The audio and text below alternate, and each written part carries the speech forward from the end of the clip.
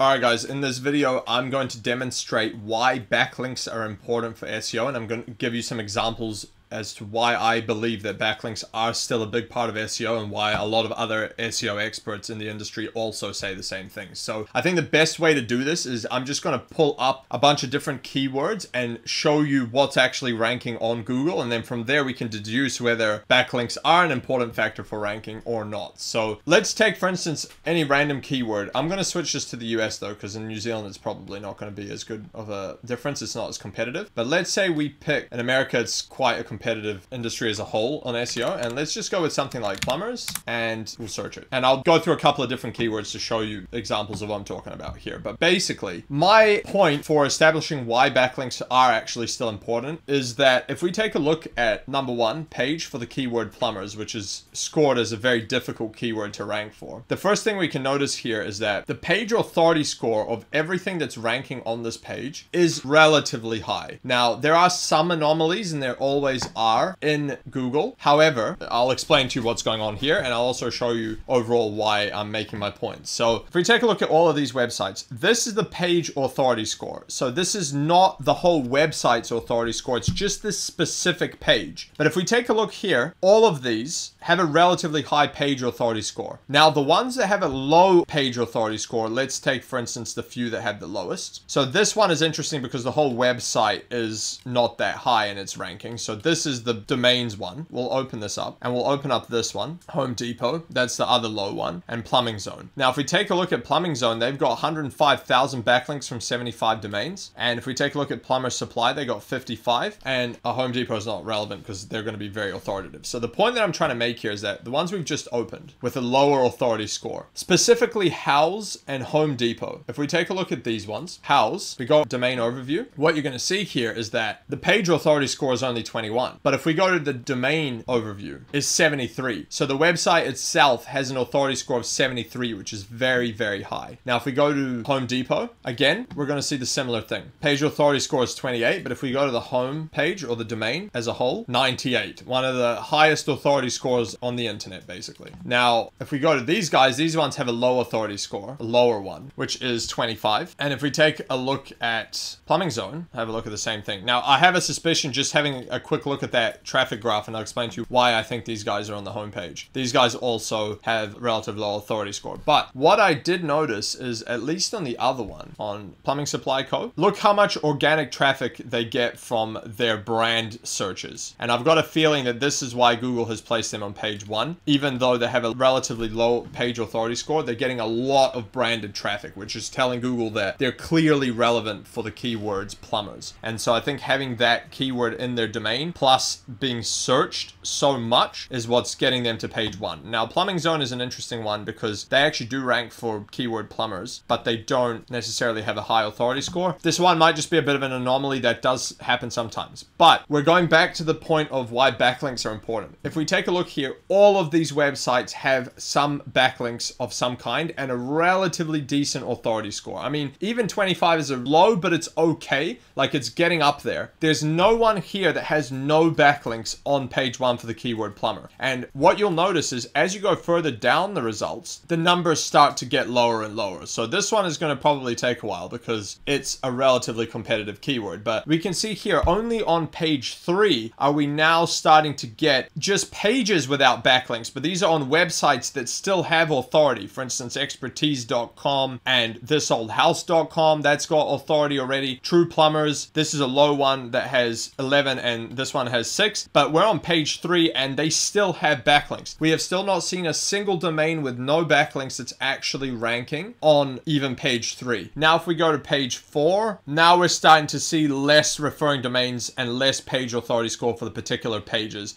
And then as we go down, it gets closer and closer to zero typically. So this pattern is very repetitive across basically anything. If we look for literally anything else, let's go pet supplies. You will see this exact same thing. So page page one has a lot of backlinks or results with backlinks, high page authority scores. You can see that here. These are the domains. You can see, look at these authority scores 71, 39, 86, 56, 75, etc. Now, authority scores purely built off backlinks, well, mostly. So they play the largest role in that, which is basically telling you that you need backlinks to rank for competitive keywords. Because if that was not the case, we would be seeing examples of websites with extremely low or even zero authority score ranking on page one for these competitive keywords. And the simple fact is, if we go down the list here for pet supplies, same issue. There is still none here. This again is a subdomain. It's not the main domain. There is still no websites with no links and no referring domains ranking here. And we keep going down. We're on page four now. Still no example. This is an internal page. We can keep going. It's probably going to take us till who knows how far down to start seeing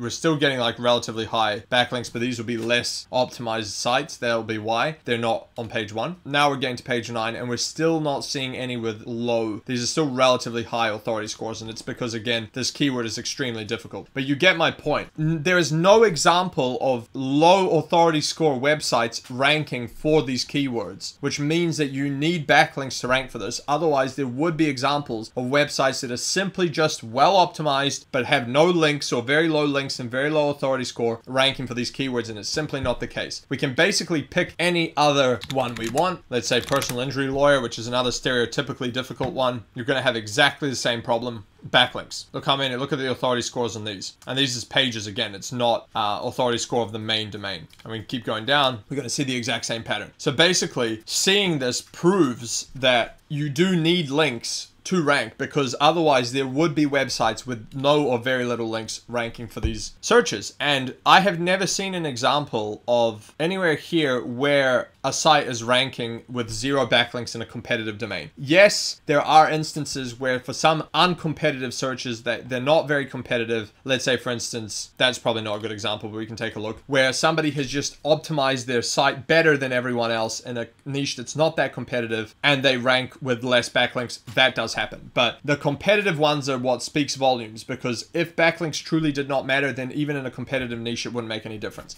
Now, the other thing that you need to keep in mind here is that if we think about this logically, what factors does Google have to determine whether a website is actually good for what they're trying to show up for? So you do have content, but the problem you have now is that AI has eliminated a lot of the content thing. Before, content used to be quite highly regarded. And I mean, it still plays a massive part, don't get me wrong. But the problem you have is now basically anyone can spit out decent content with just ChatGPT alone, let alone all the other tools that are available, which means that it's far too easy to rely on content so they can't do it because anyone can make good content very, very easily and very quickly at scale. So the only other thing they really have to rely on is external factors like backlinks and let's say social signals and user behavior on the site. And so these things do play a part, but one of the key things is backlinks and relevant backlinks from high authoritative and niche relevant sites, which is telling Google what these sites are relevant about. And so that's why I do think backlinks, especially now since like the helpful content update and AI and all this stuff, I do think backlinks are actually becoming more relevant. And I agree with a lot of the other people saying the same because logically speaking, it makes sense. And page one of Google is dictating the fact that that does seem to be the case. So that's my argument for why I think backlinks are actually still quite important for SEO and you need to do them. Now, that's not saying that you can't succeed with doing like very little backlinks or other things, but if you're competing in a competitive niche, you're going to need some form of backlinks to help you out. Or at the very least, do a very good job at acquiring backlinks naturally to get your site up there. So if you disagree with me, if you have any comments or questions, put them in the comments below and I will answer them. Otherwise, if you'd like me to coach you on how to do SEO and Google ads for only $49 a month, go to learndominatemarketing.com. And if you'd like us to do the SEO or Google ads for your business, go to dominatemarketing.io, book a call with us there. Catch you on the next one.